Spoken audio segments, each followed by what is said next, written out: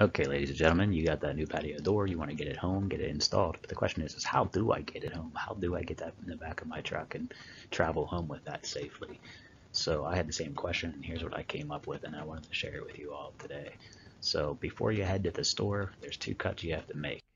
One 2x4 that'll fit in the front of your box, one 2x4 that'll fit in the back of your box. Now, on my truck, I had little notches in my bed that accepted 2x4s in these two areas. If you do not have that, what you want to do is cut a smaller 2x4 for inside the bed frame and one that overlap your bed, bed frame. Screw those together.